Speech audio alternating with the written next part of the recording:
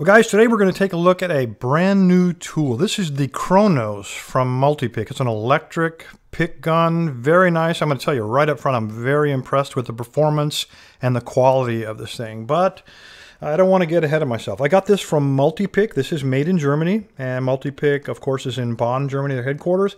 I got it for $196 plus, I think it was 10 euros shipping and handling. I wanted to test out their new shipping policy. I got this from Germany. It took five days. Not bad at all.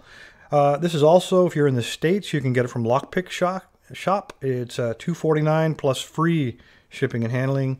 And if you're in Australia or down in New Zealand, close in that area, you can get it from PickPals. It's $184 plus shipping and handling. So I got to tell you, it's well, I think, well worth the money. I hate to give this away. I don't often say that, but I'm going to give this one away, and then I'm probably going to buy one of my own. That's how impressed I am with it. All right, enough of that. Let's talk about what you get. First of all, you get the pick itself. We'll take a close look at it in a minute. It is rechargeable, and you get an 18650 lithium ion rechargeable battery.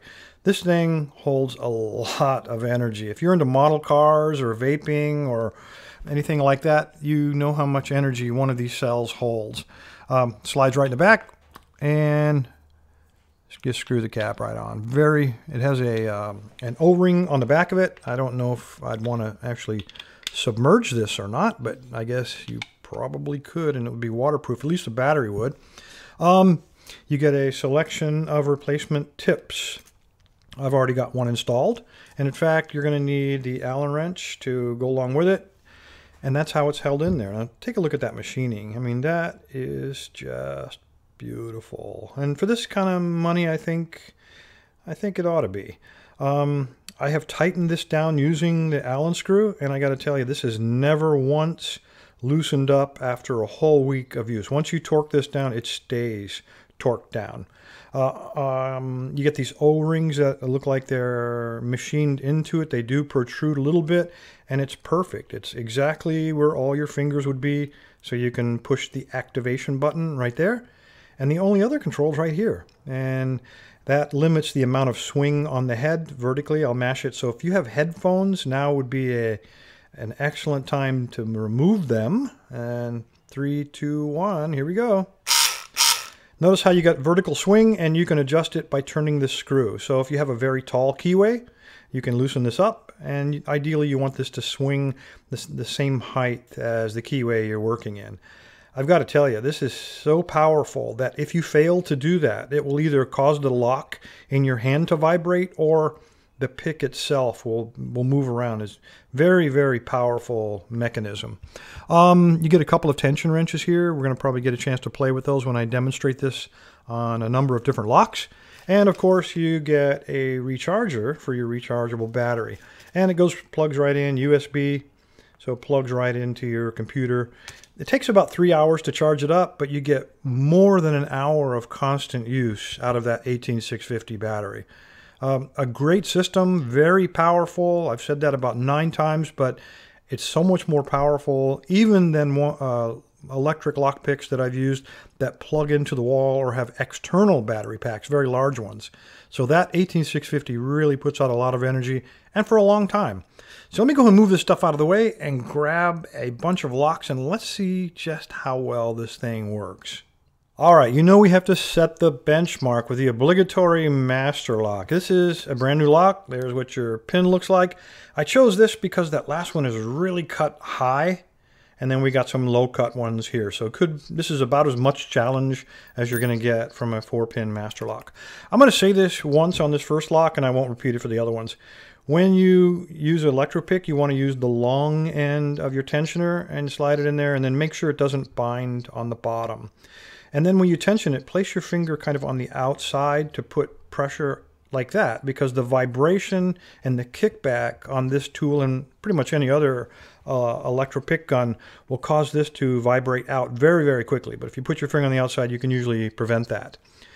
Again, when you slide the tip of the pick in, slide it all the way in, and then back it out just a little bit to keep the tip of the pick gun out of the actuator in the back of the lock.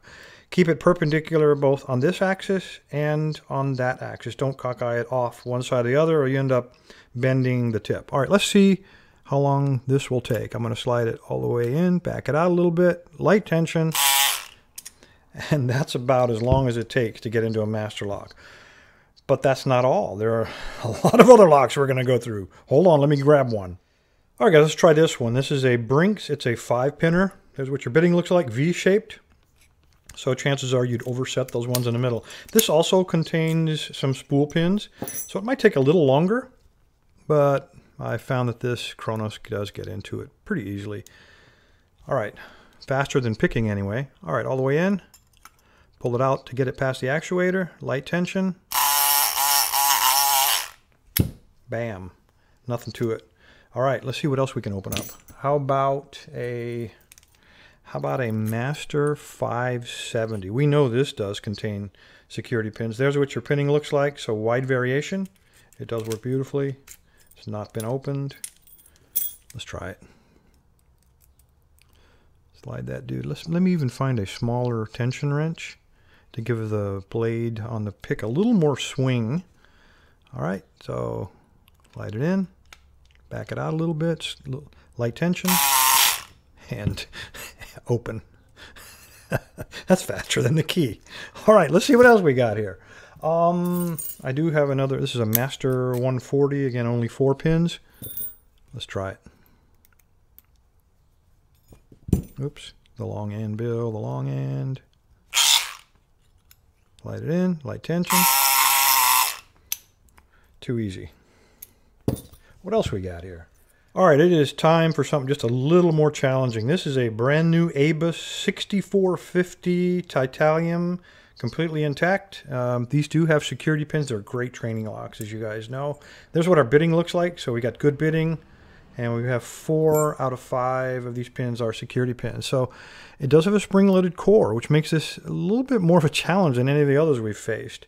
So I'm going to try to slide this in. I, th I think that'll probably work. We'll know soon enough. All right, I'll apply moderate tension because you have to overcome the spring tension on the core.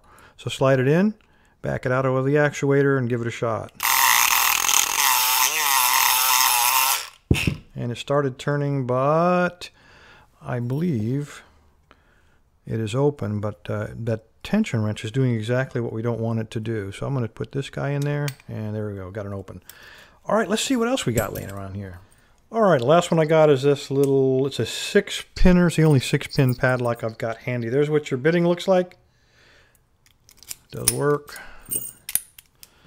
All right, let's see what we got here. Wide open, wide open keyway on this guy. That one will definitely not get bound up. All right, slide this dude in there. Extract it, light tension. And for a six pinner, that was pretty quick. Anyway, enough of the padlocks. Let's take a look at a couple of uh, door locks and see how it works on those.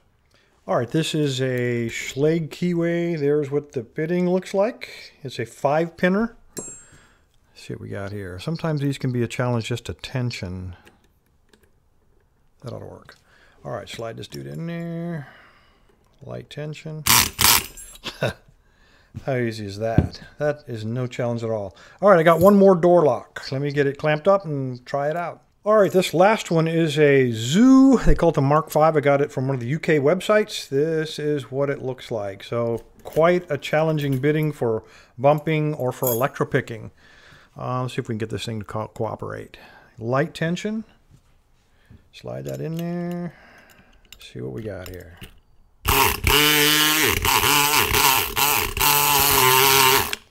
There we go. Five pins. Zoo Mark 5. Nothing to it, guys.